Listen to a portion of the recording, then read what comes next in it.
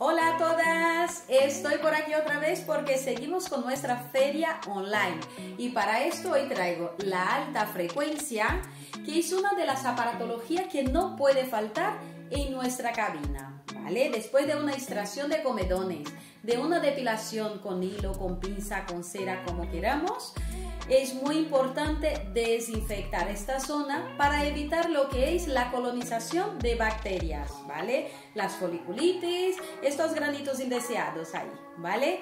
Bueno, chicas, quiero recordar una cosa, bueno, más que recordar, quiero mostrar una cosa súper interesante que tenemos en nuestra alta frecuencia. Pues es una gran novedad. Espera y verás. Mira, con nuestra alta frecuencia que ya estamos acostumbradas a ver lo que es las setitas, ahora tenemos el rodillo.